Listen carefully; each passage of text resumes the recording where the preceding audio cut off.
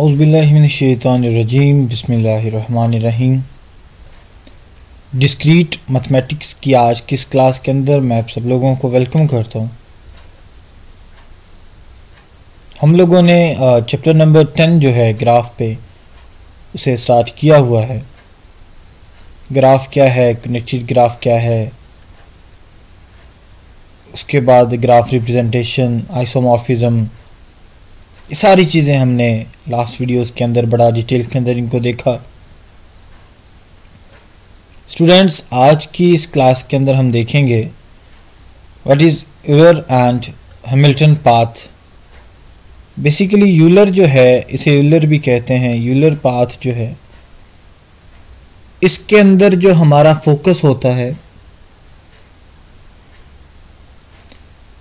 वो याद रखिएगा वह जिस पे होता है।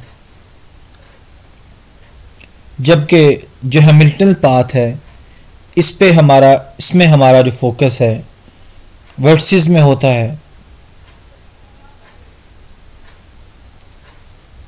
अभी एक स्टार्टिंग में ही मैं आपको यहाँ पे एक और बात भी साथ ही बता दूँ, फिर हम इसको आगे इंशाल्लाह प्रोसीड करेंगे कि कोई भी ग्राफ जो है, वो यूलर या हैमिल्टन तब होगा जब वो कनेक्टेड होगा।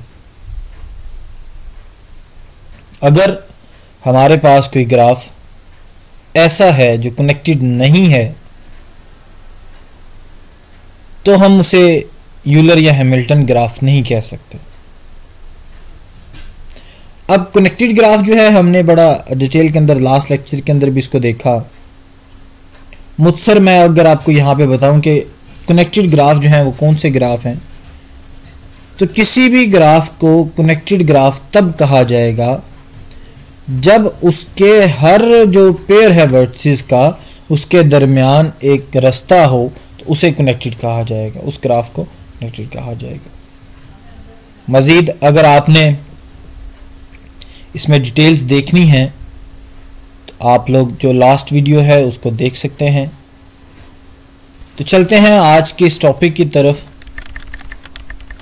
स्टूडेंट्स आपको सबसे पहले उलर पाथ का पता होना चाहिए उलर सर्किट्स का पता होना चाहिए। तो ऐसे ग्राफ जिनमें उलर पाथ या उलर सर्किट जो है, वो पाया जाता है तो उन्हीं की मदद से आपका यूलर ग्राफ बनता है।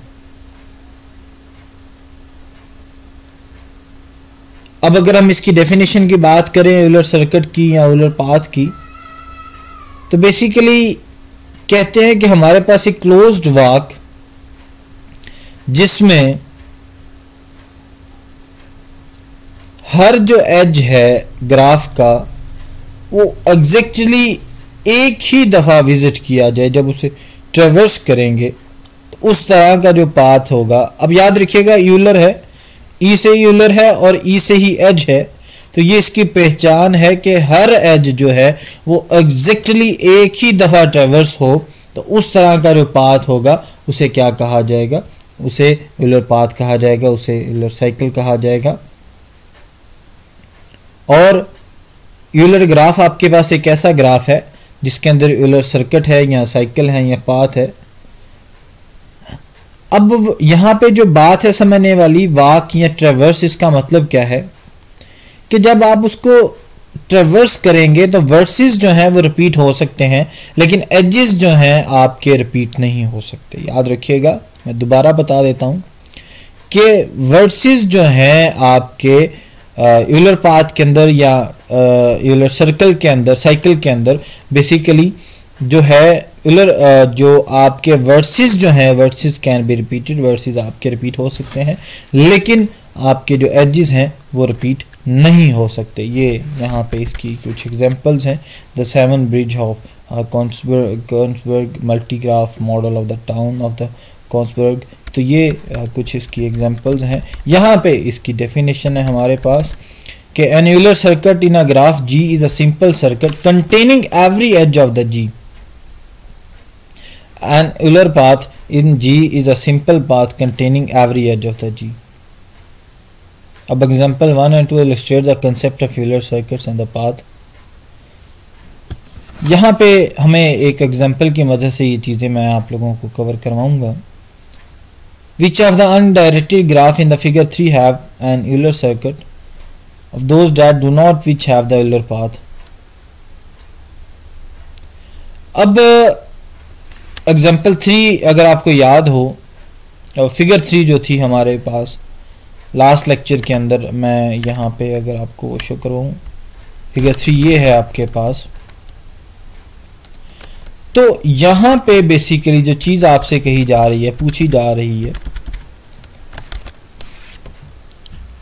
अब the graph G one has the Euler circuit अब आपके पास जो है ए ई सी डी ई बी ए तो इनमें से G2 या G3 हैज़ एन दोनों neither of the graph G two और G has an Euler circuit लेकिन जो आपके पास G3 है, उसके पास उलर पाथ है.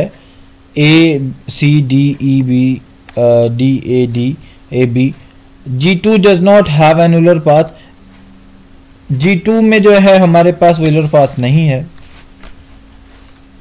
मैं यहाँ पे अगर आपको इस फिगर में शो करूँ तो ये बेसिकली अगर आपको स्क्रीन में शो हो रहा है तो ये हमारे पास जी वन है जी टू है जी थ्री है। तो ये बेसिकली ये तो कनेक्टेड ही नहीं है। यहाँ पे अगर आप देखें बी और सी जो है, इनके दरमियान पाथ कोई नहीं ए और डी के दरमियान पाथ कोई नहीं। तो ये क्योंकि कनेक्टेड ही नहीं है तो ये ग्राफ हमारा जो है उलर भी नहीं होगा सिंपल सी बात है, इसमें उलर पाथ नहीं आएगा, जब उलर पाथ नहीं आएगा तो उलर ग्राफ नहीं आएगा। जी टू की अगर बात करते हैं जी टू को हम देख लें एक दफ़ा। जी टू भी हमारा जो है वो the G G one has the Euler circuit for example for example जबकि जी टू और G three have the circuit इन दोनों के पास भी जी टू और जी थ्री के पास भी उलर सर्किट नहीं है। लेकिन, अगर आप एच वन को देखें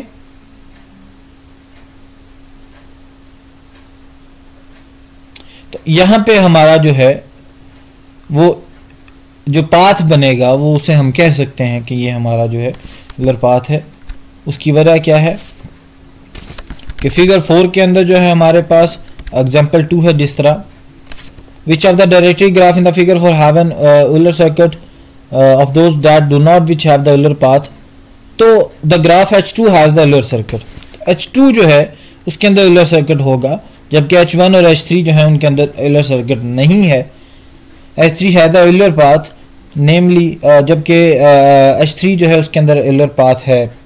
अब, जो उलर सर्किट है, और जो उलर पाथ है, इसकी जो डेफिनेशन मैंने पहले आपको बताई, कि सर्किट के लिए साइकिल भी से कहते हैं, आपके पास हर एज जो है, वो ट्रेवर्स होना चाहिए एग्जैक्टली exactly एक दफ़ा। एक से ज़्यादा नहीं होना चाहिए। एक से ज़्यादा होगा तो वो इलर सर्किट नहीं होगा। तो H2 जो है ग्राफ वो हमारा इलर सर्किट है। इसमें अगर आप देखें तो तमाम के तमाम जो एजेस हैं, उनको ट्रेवर्स किया गया है सिर्फ़ और सिर्फ़ एक ही दफ़ा। नेक्स्ट हम प्रोसीड करते हैं हमारे पास जो यूलर ग्राफ है उसकी तरफ़। यहाँ पे इसकी डेफिनेशन है। कलेक्टेड ग्राफ ये थ्योरम है यहाँ पे हमारे पास।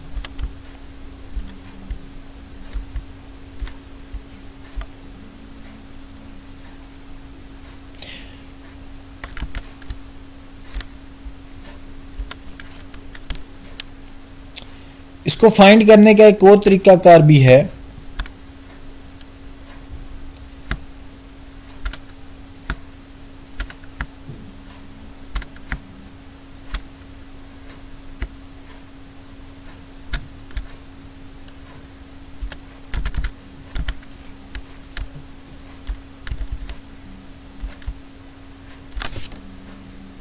कि अगर आपके पास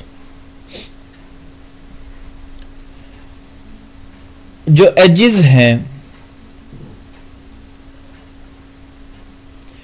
उनकी जो डिग्री है वो बेसिकली ऑड आती है।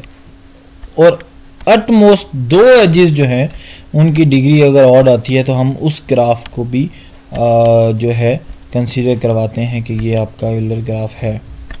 यहाँ पे ये हमारे पास यहाँ पे नेक्स्ट था इसकी मैंने एग्जांपल्स जो हैं